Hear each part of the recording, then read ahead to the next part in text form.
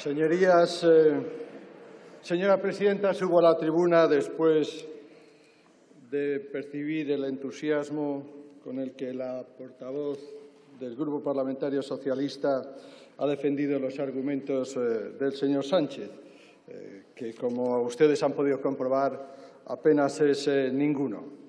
Señorías, durante los 40 años de nuestra democracia, el Congreso ha asistido al debate de cuatro mociones de censura, que es una figura parlamentaria creada para afrontar situaciones excepcionales de inestabilidad democrática. Las dos primeras se plantearon en situaciones de excepcionalidad económica y social para España. Pero ni el contexto político, económico, social de hoy son comparables a los de hace 38 y 30 años. Esta es la segunda de esta legislatura, las dos con apenas un año de diferencia. Las dos con el mismo fondo, ninguno. Las dos con la misma justificación, ninguna. Y protagonizadas por los mismos, la izquierda irresponsable y temeraria que sigue sin aceptar su derrota en las urnas. Es, señorías, la nueva política o la política de los nuevos. Hoy votó contra los presupuestos generales del Estado, pero mañana nos anuncia que los va a cumplir. Ya humilló a sus diputados anteriormente señor Sánchez. Primero les llamó traidores por una abstención en la investidura del presidente Rajoy y ahora les llama incompetentes por haber votado en contra de unos presupuestos que pactamos aquí las distintas fuerzas políticas. ¿Hasta dónde es capaz usted de llegar para cubrir su ambición? Señorías, esta moción de censura se produce en un momento crucial para Europa y España poniendo en riesgo su estabilidad política, económica y social. Se produce cuando en Italia estamos comprobando los daños que genera la inestabilidad política, 48 horas después de que este Gobierno consiguiera el apoyo de la mayoría absoluta para los presupuestos, asegurando con ello la senda de crecimiento y empleo y justo después de que la unidad de los constitucionalistas, mediante la aplicación del artículo 155 de la Constitución, haya permitido preservar la unidad de España, impedir que Puigdemont volviera a ser presidente de Cataluña o que ningún prófugo o encarcelado forma parte del Gobierno en Cataluña. Una unidad que hoy usted, señor Sánchez, pone en jaque para mendigar el apoyo de los que hace poco dieron un golpe de Estado contra el Estado y que, y que a los cuales a los cuales no sabemos o con los cuales no sabemos qué ha sido capaz de comprometer. ¿Va a contar usted hoy a cambio de qué va a obtener el apoyo de esos señores, señor Sánchez? Porque esta es la cuestión. Pero por si acaso quiero dejarle muy claro cuál es la posición de mi grupo. Y es que para los delincuentes no va a haber y ni puede haber ni inmunidad, ni impunidad, ni indultos. Pacte usted lo que pacte, se lo digo ya aquí en la tribuna. Señorías, no vamos a permitirle que cambie el Código Penal. Ya se lo digo, se lo anuncio. Y ahora hay que preguntarse cuál es en realidad, señor Sánchez, el objetivo real de todo esto. Usted ayer no contestó ninguna de las preguntas del Gobierno. Usted no presentó una alternativa de Gobierno porque sencillamente no tiene un proyecto para España. La realidad estamos aquí, es que estamos aquí porque el señor Sánchez quiere ser presidente del Gobierno a cualquier precio y cueste lo que cueste. Señor Sánchez sigue sin, sin aceptar lo que las urnas dijeron en el año 15 y en el año 16. Y es que usted perdió las elecciones es que usted sacó el peor resultado de la historia de su partido político, es que usted, un año después de estar aquí bloqueando la legislatura, fue capaz de empeorar los resultados. 85 escaños, señor Sánchez. ¿Va a hacer alguna vez usted caso a los españoles y aceptar los resultados democráticos de las elecciones, señor Sánchez? No, no lo va a hacer. Hoy va a volver hoy va a volver a intentar, y seguramente lo consiga, ir a la Moncloa por la puerta de atrás. ¡Qué vergüenza! Señor Sánchez, esta moción de censura es un fraude. Señores eh, del PSOE, asuman que la legitimidad para gobernar la otorgan los españoles en las urnas y no los pactos de los extraños en los despachos. Por primera vez vamos a tener o podemos tener un presidente de Gobierno que no ganó las elecciones, y que además ni tan siquiera está en esta Cámara sentado porque usted salió huyendo. Ustedes van a perpetrar hoy un fraude. Nuestra Constitución consagró la moción de censura constructiva. Se necesita un candidato y un programa viable, y usted sabe que eso no es posible con un gobierno Frankenstein y un Parlamento con 52 escaños menos que el Partido Popular y con un Senado absolutamente en contra, señor Sánchez. Cesar a un gobierno a través de una moción de censura solo tiene sentido en la medida en que quien la expresa está preparado para asumir por sí mismo la responsabilidad de gobernar y usted no está preparado para asumir solo por sí mismo esa responsabilidad. ¿Cree que podría explicarle su salida del bloque constitucionalista? ¿Cree que va a poder explicar los precios que va a tener que pagar por sus nuevas amistades a sus votantes, a sus compañeros de partido? O a sus socios europeos, con los que, por cierto, se estrenó en el cargo rompiendo el acuerdo de investidura en las instituciones europeas. Si usted quiere gobernar, lo tendrá que hacer con los populistas de Podemos, con aquellos que hablan mucho de la corrupción, pero que luego están diciendo ya en campaña electoral o en precampaña electoral que por favor en el Ayuntamiento de Madrid a ver si creamos cooperativas para ver si saqueamos los fondos del Ayuntamiento, no vaya a ser que en las próximas elecciones nos echen. Señor Iglesias, señor Iglesias, yo le pido que hable con un poco más de dignidad eh, de mi partido.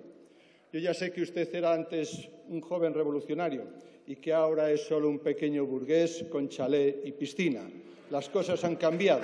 Pero eso es un claro ejemplo de la prosperidad de este país, de que España va mejor, incluso para usted, señor Iglesias. Pero cuando habla de la verosimilitud de lo que dicen los jueces, yo le tengo que preguntar, señor Iglesias, ¿es verosímil un juez o es verdad lo que dice un juez cuando declara que es verosímil que usted cobró 450.000 euros de una dictadura, es más, de la dictadura del señor Maduro? ¿Eso sí es verosímil? ¿Y lo que dicen de los demás no?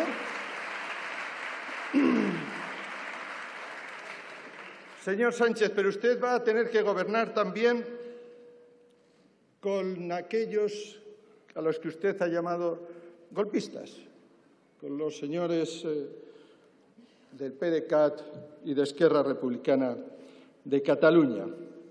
Cuando ve usted al señor Torral, le va a decir aquello de que es racista, supremacista, o ya se va a olvidar usted de todo eso. ¿Ya va a cambiar usted su discurso? Ayer nos hablaba de Cataluña intentando echarle la culpa al Partido Popular de lo que sucede en Cataluña. Ustedes jamás asumen responsabilidad ninguna. Pero lea usted la historia de España y verá usted que ya hace muchos años también unos partidos políticos en Cataluña dieron dos golpes de Estado, los dos contra la República, en el 31 y en el 34. No fue ninguna, no es esto de hoy ninguna novedad, señor eh, Sánchez. Y por último, lo que sin duda, lo que sin duda es una grave afrenta es que usted esté dispuesto a recibir los votos de Bildu. Hay que tener un cuajo muy grande y una vergüenza muy grande también, señoría, con los amigos con los viejos amigos de la ETA. Con esos son con los que usted, con esos votos con los que usted va a ser presidente del Gobierno también en el día de hoy. Yo no sé si usted va a ser capaz de mirar a las víctimas de ETA. Yo, en su caso, no sería capaz. Nadie, nadie, ni tan siquiera el señor Zapatero, fue capaz de aceptar esos votos para ser presidente del Gobierno. De verdad,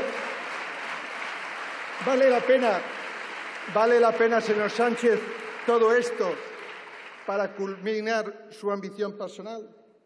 ¿De verdad está dispuesto usted a asumir un gobierno con extremistas radicales, independentistas, para acabar o que quieren acabar con el proyecto de España que hemos construido entre todos? ¿Qué es lo que está dispuesto de verdad a hacer? Y, señorías del PNV, yo siempre les consideré a ustedes personas de palabra. Me equivoqué tengo que reconocerlo. Ya sé que los tiempos han cambiado y que desgraciadamente vuelven ustedes a los tiempos de Ibarreche. Me parece usted, me parece, señor Esteban, que por ahí va ustedes o van ustedes por muy mal camino. Señorías, el Partido Popular ni ha mostrado ni va a mostrar ninguna complacencia con la corrupción. Ya tomamos medidas y asumimos responsabilidades políticas, ya lo hicimos. Ya pedimos perdón en su momento y lo pedimos humildemente. Y hoy lo volvemos a hacer por todas las personas que hayan tenido relación con nuestro partido y hayan sido condenadas por delitos de corrupción. A todos nosotros nos indigna y a nosotros más, porque nos hace más daño que a nadie. Hoy todos esos están fuera del Partido Popular. Pero, señorías, señor Sánchez, señores del PSOE, todavía estoy esperando a que su partido haga algo similar con los casos de corrupción de su partido que inundan toda España que inundan toda España, señor Sánchez.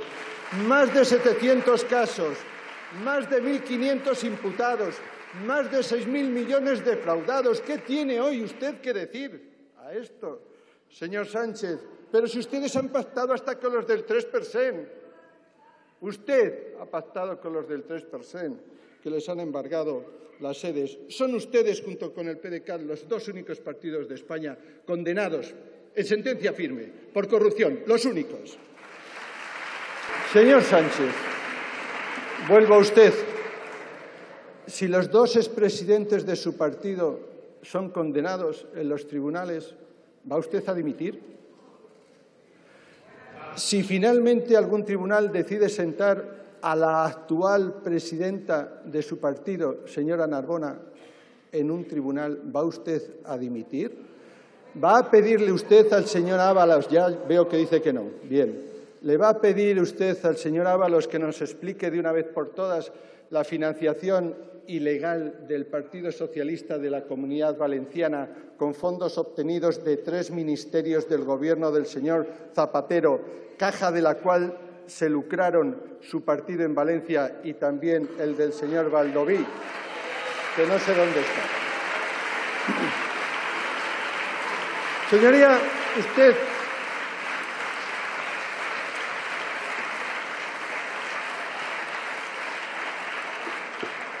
Usted, señor Sánchez, vino aquí ayer a presentarse presentando excusas, pidiéndole al señor Rajoy que dimitiera, una dimisión trampa, para volver otra vez a esa situación en la que usted se siente cómodo en la situación en la que en gobierno en España hay un gobierno en funciones, un gobierno que no puede hacer nada.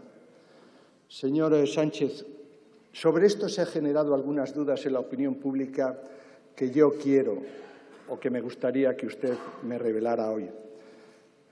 Si el señor Rajoy hubiera dimitido, ¿se compromete o se comprometería usted hoy a hacer que sus diputados repitieran la misma posición política que hicieron o que tuvieron en el año 16 absteniéndose ante una candidatura del Partido Popular?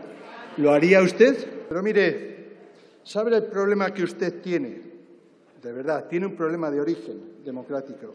Es que a usted los españoles le han dicho que no le quieren, que no le quieren, que es que ha perdido votos y escaños cada vez que usted se ha presentado, lo ha hecho su partido. No le quieren. Usted viene ahora y me dice, no, yo vengo aquí con 12 millones de votos. Claro, ya lo sé, si es lo que yo le he dicho esta mañana. Viene con los votos también de Bildu. ¿Por qué le da vergüenza a usted reconocerlo? ¿Quiénes son los de Bildu? Los viejos amigos de la banda terrorista ETA. Está claro, señorías. Yo entiendo que usted eh, esto le siente mal reconocerlo y no quiere hablar de esto ni quiere explicarnos de verdad cuál es su programa y qué es lo que va a hacer cuando lo que o quien es irrelevante en esta Cámara me reconocerá o es más irrelevante en esta Cámara un grupo que tiene 85 que uno que tiene 137. ¿Cuál es la relevancia de su grupo en el Senado, en el Senado señor Sánchez? Pues insignificante, insignificante como usted. Señor Sánchez, mire, ha hablado usted de la corrupción y, ha venido aquí a perdonarme la vida, parece ser, esta mañana, diciendo, no, ustedes no son corruptos. Pero bueno, si es que lleva usted diciendo todo lo contrario toda la vida, si es que usted se ha sumado a todo esto de la corrupción. La corrupción depende para quién, ¿verdad? Depende para quién. Usted hizo su campaña, sus primarias, con el crowdfunding. El tesorero de su partido dijo que era financiación ilegal. ¿Va a responder usted de esto? ¿Nos va a explicar usted esto? ¿Va a dar cuenta a los españoles de esto? ¿O esto no cuenta, señor Sánchez? Señorías, Aquí, aquí no cuenta el macrofraude de los, de los seres. Mil millones de euros gastados para financiar una red clientelar. De los parados que tanto le preocupaba ayer al señor Ábalos, de esos, dinero de los parados, para hacer lo que todos hemos eh, conocido. Dos expresidentes nacionales de su partido. ¿Qué va a pasar cuando haya una sentencia?